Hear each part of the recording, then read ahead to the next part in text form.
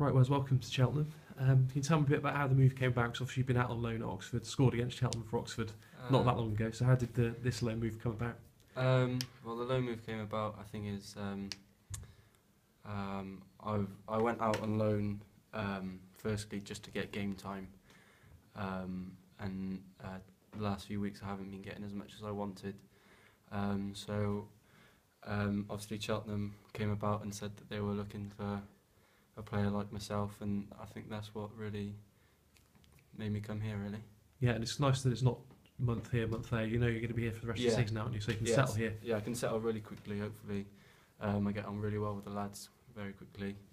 Um, so yeah, I'm, I know I'm here to the end of the season, so it's um, them all the way now. Yeah, and it's something you're used to going out, getting used to a new group of players and settling in. So is that something you think will help you come here and get, get involved straight away? Yeah, I mean I'm quite a, an open character. I mean I'm always open for a chat and things like that. So I think I'll get on well with, with everyone here.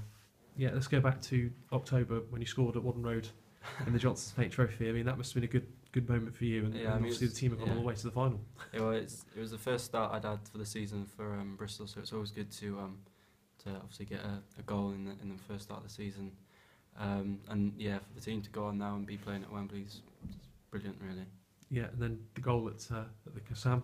Um, that's that was uh, obviously Cheltenham went on to win that game. but yeah, you- yeah, they you- did. They did well to go on and win it.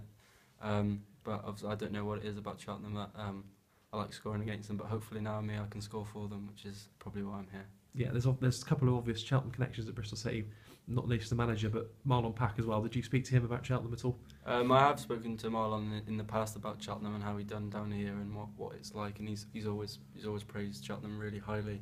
So obviously, when it, the club came about that they wanted to sign me, I was always keen to come. Yeah, and uh, how you finding playing for Steve Cotterill? You know, what's, what's he been like to work under? Um, he's been brilliant to work under, to be honest. I mean, the the changes that he's done at, um, at Bristol City are obviously for all to see. They're they're fantastic. I mean, he's very straight to the point manager, and he gets everyone going. Yeah. So is the idea come here, get a few goals under your belt, get the more experience, and then hopefully you can propel yourself into Bristol City's team, which will hopefully obviously be in the Championship Yeah, when you go back. ideally, yeah. I mean, that's I think that's the ultimate aim. Um, obviously, to come here, get loads of um, loads of game time, lots of positive performance, and hopefully lots of goals as well. Yeah, there's been five new signings for Cheltenham in the last couple of days, and I've asked Yeah. everybody the same question. How would you describe yourself as a player? Um, I'd probably describe myself as a as a direct player, um, a quick player, uh, powerful, and a, a obvious eye for goal, I guess.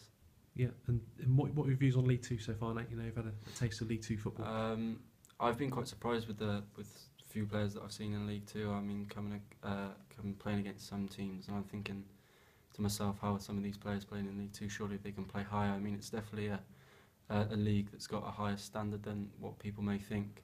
So yeah, it's, it definitely caught me by surprise when I first started playing here. Yeah, and a great game to start with at home against Burton, who are right up there, challenging promotion, so it's, it's a good one to get you started, Yeah, it? definitely. I mean, I'll take every game the same as it comes. I mean, um, just because they're up there in the table in the table doesn't mean that they're necessarily going to beat us. I mean, well, they'll they'll come to us on Saturday. I'm sure we'll put up a great fight and hopefully we get three points as well. Brilliant. Cheers, Wes. Thanks a lot.